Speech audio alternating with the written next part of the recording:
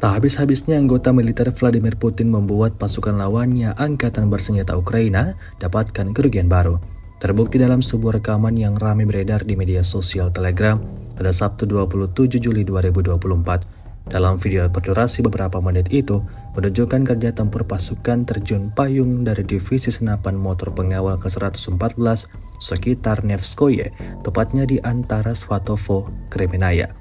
Dari kejauhan, sejumlah kendaraan militer Ukraina yang beroperasi di sekitar kawasan tersebut berhasil dideteksi oleh kamera pengintai militer Rusia.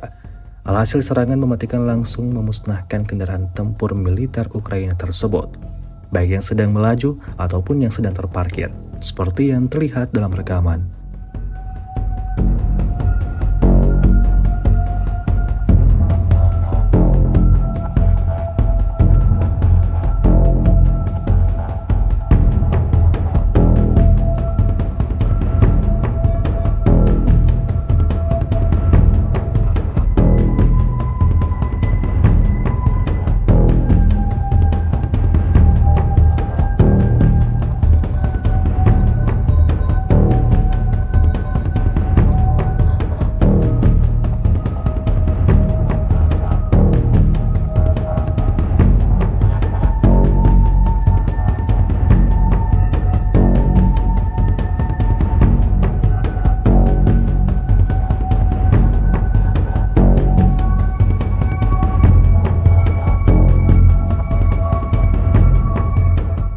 Download Tribun X sekarang.